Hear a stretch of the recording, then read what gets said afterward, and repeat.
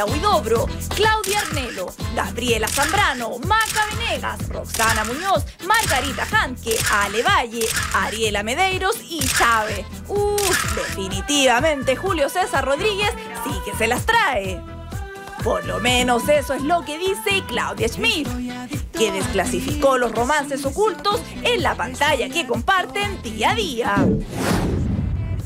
Bueno, uno nunca revela la fuente, pero eso se sabe hace rato y yo solamente pregunté. A mí me enseñaron que en el periodismo, si bien no soy periodista, uno tiene el derecho a preguntar. El otro ve si responde o no y cómo se sacan los pillos. En este caso, él solamente sonrió, y más, me puse hasta en el baile a ver cómo... Y ni siquiera me negó el patudo, imagínate. Pero parece que hay mucho más, porque después de esos nombres que di, me llegó así una lista larga, larga. Hoy le dije, y se reía, seguía riéndose Cepillo. Así que bravo, Julito, bravo.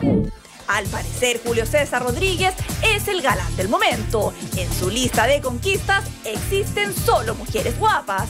Su pareja actual, Laurita Prieto, solo habla maravillas de él. Luego de casi dos años de relación. Súper, nos La toalla, súper la, bien. la toalla mojada arriba de la cama, el water levantado. Es que yo soy súper, súper Oye, te- alote, te entonces voy a esas decir cosas me dan lo mismo. No, no estoy apurada por casarme. Ya. La verdad que yo creo que todo va como por, por etapa. etapa y estamos bien así. Si Julio César se hace el eso nomás. Incluso se dice que le fue infiel a la ex Chile, Claudia Arnelo, con quien tuvo seis años de relación. Claro, Por porque Francisca. con, con todo este, con lo que se asumió que, que nosotros habíamos como, que yo había entrado a la relación, obviamente que ella era la víctima. Obviamente que ella era la víctima. Pero la cosa no para ahí, y es que también le habría puesto el gorro a la Fran con su anterior pareja. Y hasta fue paparaseado en Buenos Aires pasando los chanchos con Claudia Arnelo. Julio y yo no tenemos temas personales pendientes. Eh, creo que el respeto profesional es mutuo. La Fran tengo una relación de amistad y somos papás de, de Joaquín y eso nos, nos acerca como siempre. Y si usted creía que hasta ahí llegaba la cosa, no pues, fíjese que JC también tuvo su amorío con la ex bailarina de H, Ariela Medeiros. Yo había escuchado de la Micaela Rivero, que, se, la había invitado a salir y eso, pero no sé, yo creo que el hombre propone y la mujer dispone. Pero su prontuario no se queda aquí.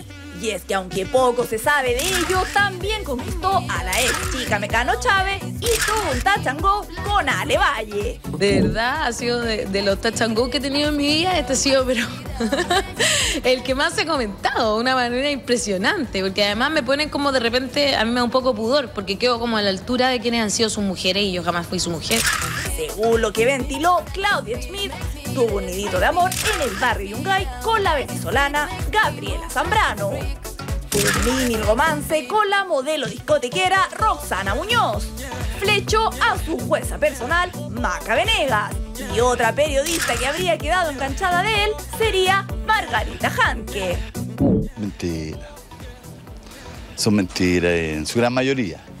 Y la verdad es que yo nunca he hablado de ninguno y no va a ser esta la ocasión de romper esa, esa, esa forma que tengo de relacionarme más con la vida, porque uno siempre tiene que ir para adelante y la vida es lo que vives hoy día, digamos, es presente. Mmm, ¿usted le cree? Porque yo no. Y es que definitivamente Julio César es un multifacético profesional. De postura crítica, su vida laboral va en ascenso, tiene cercanía con el público radial y se perfila como todo un antigalán. Pero ¿qué tiene el periodista? ¿Qué le llueven las mujeres guapas? ¿Qué tiene Julio César Rodríguez? Que atrae tanto a las mujeres. No, ese es un mito, un mito que no- me hace un flaco favor. Bueno, tienes que preguntarle a ella. Yo trato de ser lo más natural posible, trato de tratarlas con cariño y afecto, pero no hay más secretos que eso, eso es todo. Dicen por ahí que la labia No, no, soy súper poco hablador en, mi- en- en los procesos de conquista, soy más, más bueno para escuchar que para hablar. Y eso quizás tiene un valor también. Definitivamente no nos quiso contar su secreto. Lo que sí está claro es que es un personaje con opinión, crítico y certero. Y aunque no es un Adonis, sabe cómo conquistar a una mujer, sin importar edad, tamaño ni alguna cualidad especial. Tierna, esa sonrisa, esa, esa letra que tiene, parece libro abierto, nunca se le, nunca para, tiene texto, tema, y a es- eso a las mujeres les gusta mucho. Eh, sabe cómo conquistar.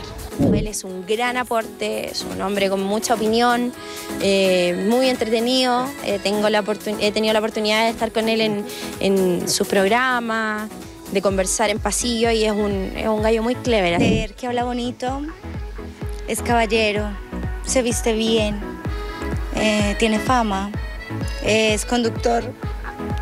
Julio César es un buen entrevistador, es un, es un gallo con el que te dan ganas de hablar, es directo, está informado normalmente. A mí me ha entrevistado y es bien divertido y es entretenido y acapara los espacios y los lugares, así que debe ser entretenido salir con él, supongo. No sé si tiene ahí algún, alguna cosa oculta muy atractiva. Soy de los late. A mí me encanta Julio César. No, si Julito se las trae, si hasta sus parejas se pelean por él. ¿Qué me dice? ¿Hay una